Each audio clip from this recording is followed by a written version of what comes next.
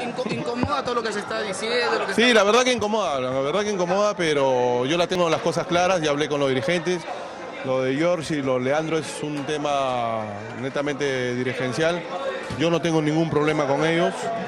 Más bien yo ya hablé con ellos, ellos saben mi punto de vista, hemos dialogado más de tres horas con cada uno, así que no hay ningún problema con ellos, entonces es una decisión de los dirigentes. Espero que la arreglen rápido.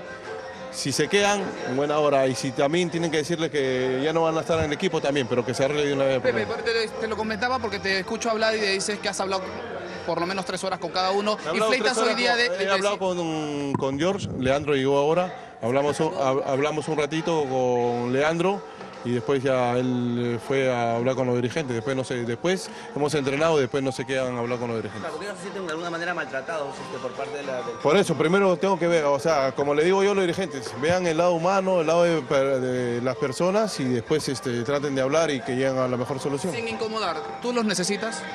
Ya lo dije mil veces, ¿cómo quieres?